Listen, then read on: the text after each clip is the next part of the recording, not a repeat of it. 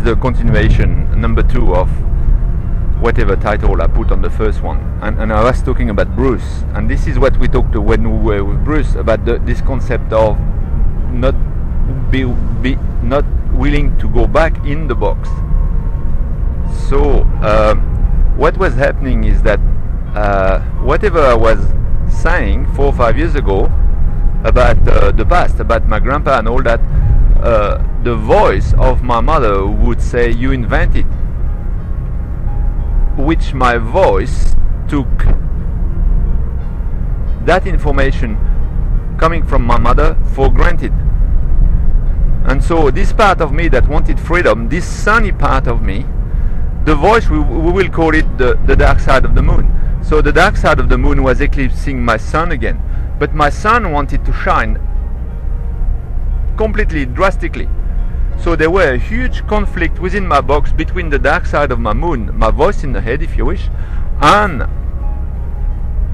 the, the, the sun, the sun, the heart of the sun of me that wanted to shine completely without restriction.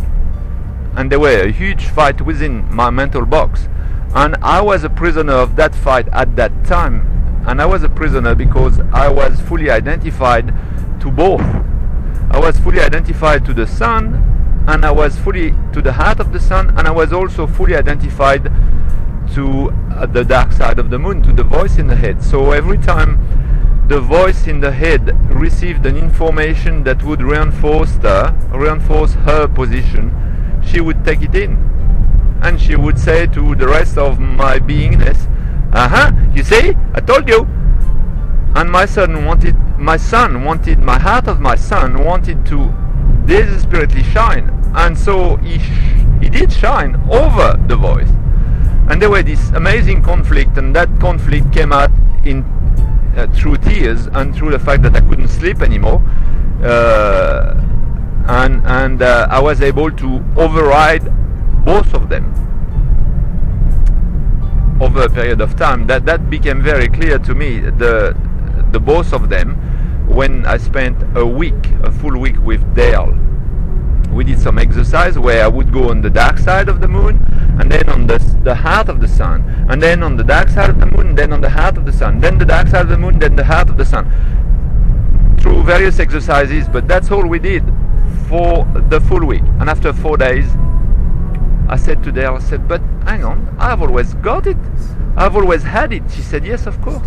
And I was very peaceful from then on because I was not the dark side anymore. I was completely dissociated from the dark side of the moon. And I was not the sun either.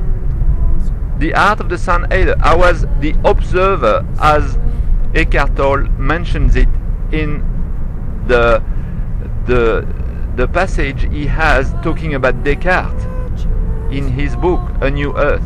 He talks about Descartes and Jean-Paul Sartre and the fact that Descartes came with a thought that says, I think, therefore I am. What he was saying, he was fully identified to the dark side of the moon. I think, therefore I am. We could even say to the heart of the sun if we want to, but he was fully identified to them.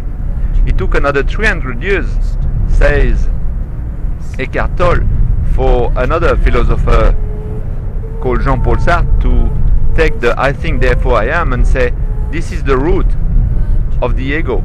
The ego being the voice in the head, being the dark side of the moon, being my habits, being my programming. And because it's my habits, because it's my programmings, I don't even see them.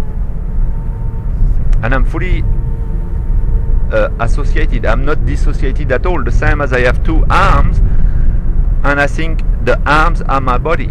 Well, they are not. They are part of my body but they are not my body. And that's the same for this voice in the head. So this voice in the head is part of my body.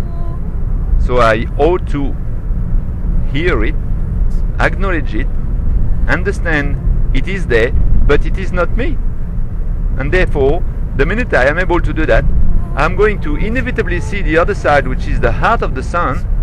And that's a song from Roger Waters also, The Heart of the Sun and I'm going to be the observer of the, these two forces and I'm going to be able to use them at will to create anything I wish to create Now you realize the power there?